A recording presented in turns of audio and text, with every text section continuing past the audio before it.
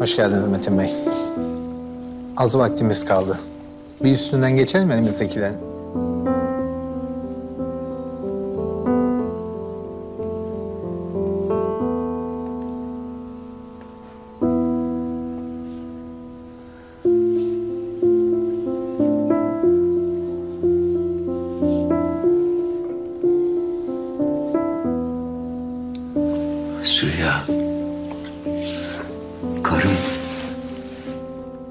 Yolun sonuna geldik. Hala yüzüme bakmayacak mısın? Süreyya. Ne yapmamı istersin? Vazgeçmen için.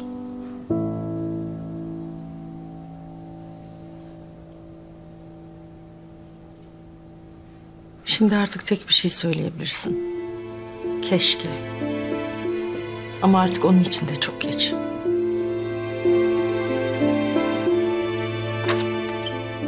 Süreyya Koran, Metin Koran.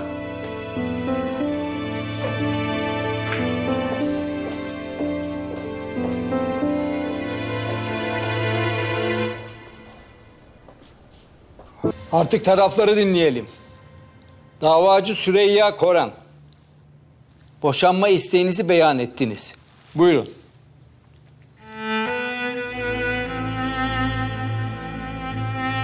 Uzun uzun şikayet etmeyeceğim hakim bey. Ama şunu söylemeliyim ki bu bir boşanma davası değil. Bu bir cinayet davası. Sessizlik. Süreyya Hanım, kelimelerinizi daha doğru seçin lütfen. O zaman şöyle ifade edeyim hakim bey. Bu evlilik benim için bir intihardı. Yıllar önce ben bir rahatsızlık geçirdim. O zaman anlaşıldı ki ben bir daha çocuk sahibi olamayacağım. Ve o günden itibaren kocam beni artık bir kadın olarak görmedi. Doğurgan olmadığım için. Şimdi ben size soruyorum hakim bey.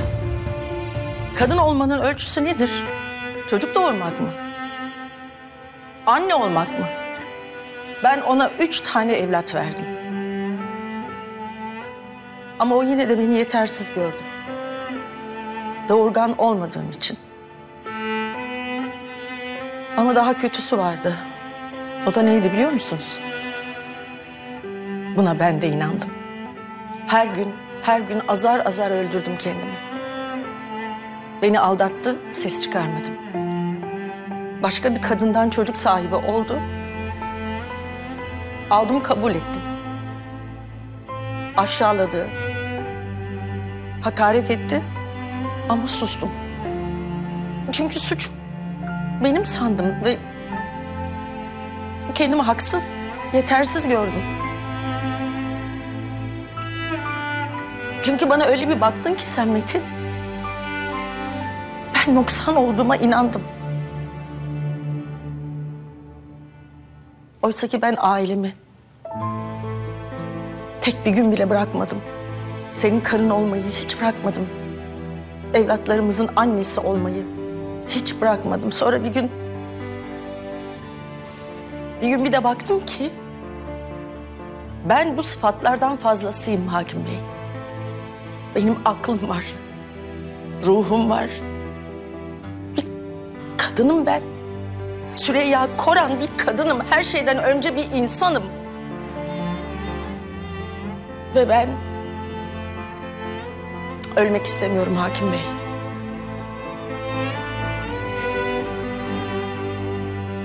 Yaşamak istiyorum. Yaşamak istiyorum.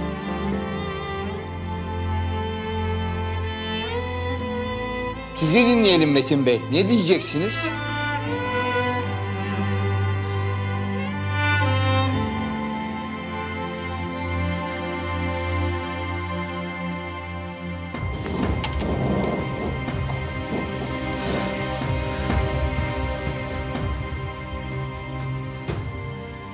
Keşke.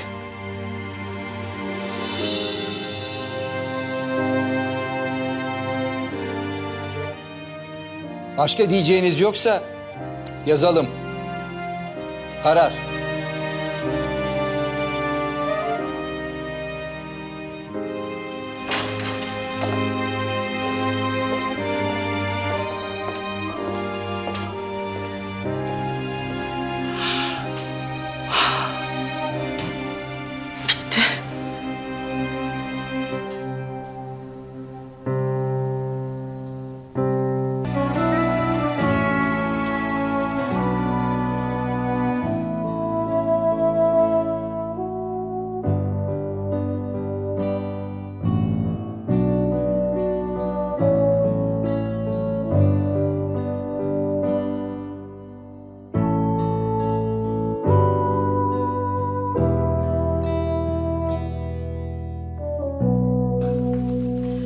Hoş geldiniz Süreyya Hanım.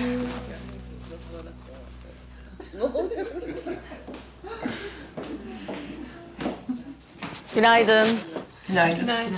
Hanımlar izninizle. Erkek arkadaşımla konuşmam lazım. Erkek arkadaşım mı? Konuşabilir miyiz?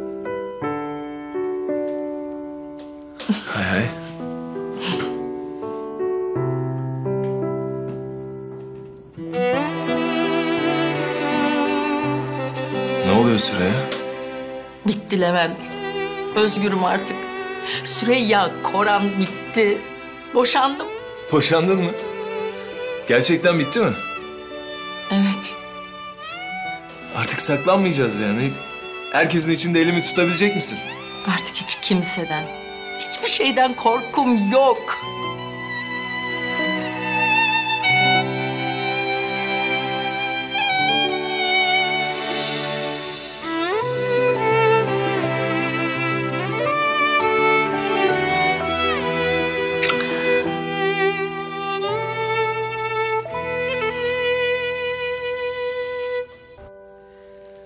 Sana bir iyi bir de kötü haberim var. Söyle bakalım. Önce hangisini duymak istersin? Kötüyü söyle de bari bitsin gitsin. Bu vakıf artık Filiz ve Filiz gibi kadınlara yardım edemeyecek. Ne demek yardım edemeyecek? Nasıl olur bu Levent? Bir sürü işte bürokratik sorunlar var. Ya anlatıp da seni şişirmeyeyim şimdi. E ne olacak peki? Nasıl çözeceğiz bu sorunu? İyi haberi sormayacak mısın? Ne iyi haberi Levent. Ne olacak bu kadınlar? Koca bir kış var önümüzde. Hadi sor. İyi haber ne de? Peki neymiş iyi haber?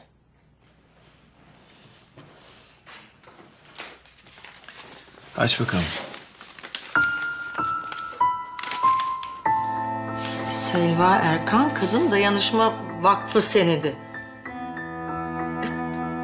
Bu annemin adı. Sen geçenlerde ne dedin bana?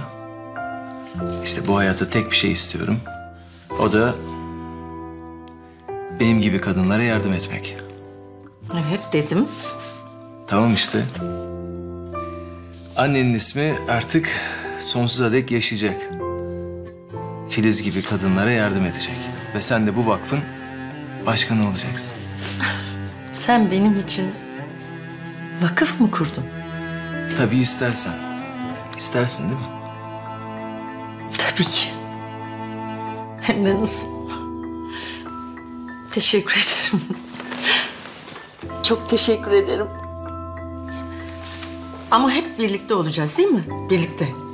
Bundan sonra sen bana git diyene kadar hep beraberiz. Hiçbir yere gitme. Hep yanımda kal. Hep.